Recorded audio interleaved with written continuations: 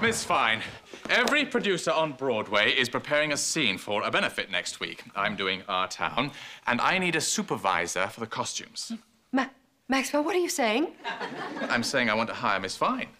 But regardless of what that magazine says, I happen to know you have a keen sense of style, Miss Fine. So, will you take the job? Are you kidding? Oh, Mr. Sheffield. I can't believe you trust me like that. Maxwell, Nanny Fine does not want you to hire her out of guilt. Guilt has been very good to my people. oh,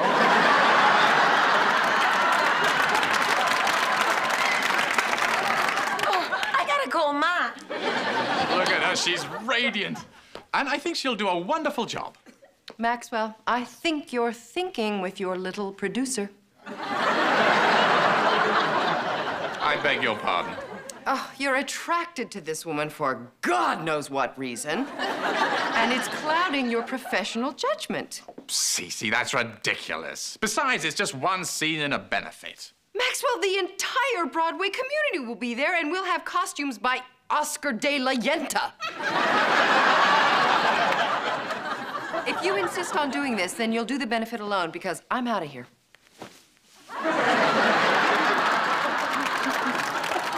Hasta la vista, baby. C.C., C.C., you're overreacting. You'll, you'll see. Miss Fine will do a splendid job. Oh, our town, this is going to be fabulous. I'm gonna do a whole Four Tops Temptations thing, you know, with backup singers and sparkly gowns. Oh, wait a minute, that's Motown. Don't I'll get it. I'll get it. Oh, Maxwell, I'm so sorry. This might be a bad time to ask you this, what with your career in the toilet and all. but now are you ready to admit that it wasn't your brain that hired Nanny Fine? Look, I'll admit it was a mistake hiring her, but I won't question my motivation. The history is full of relationships between men and women that have nothing to do with sexual attraction. Like, uh, mm-hmm. uh, mm-hmm. uh, us.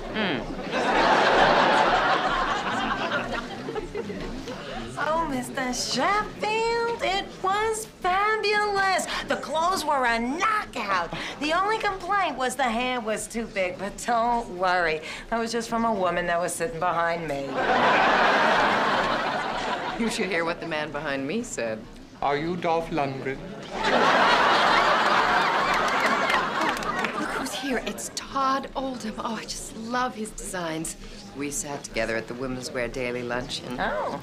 Oh, oh, he's coming over to say hello. Todd! Franny. Oh, cousin Toddy. You mean Todd Oldham is your cousin Toddy?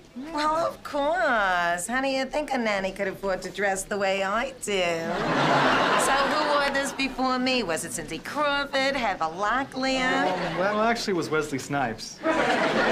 Wesley, huh? uh, Todd, I'd like you to meet my boss, Maxwell Sheffield. It's a pleasure. How do you do? And his partner, C.C. Babcock. Remember me?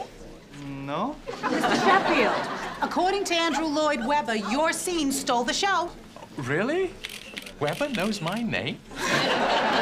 I mean, Webber knows my name is synonymous with avant-garde. Did he say that guy, or did he specifically call me Maxwell Sheffield? Uh, Todd, in the cemetery, everything was blue. So evocative, so poignant. Why blue? Well, I like blue. And Mr. Mr. Sheffield, how does it feel to reinvent a classic? Well, actually, a great deal of the credit goes to a very special woman I work with. Just a moment. Thank you, Maxwell. C period, C period, Babcock. C.C.! Well, anyway, you did a wonderful job. Oh, thank you. You know, I've got style, I've got flair. That's how I became the nanny. oh, there's the photographer from Gloss Magazine. He's gonna take a picture of her. Excuse me, Miss Babcock. Right here.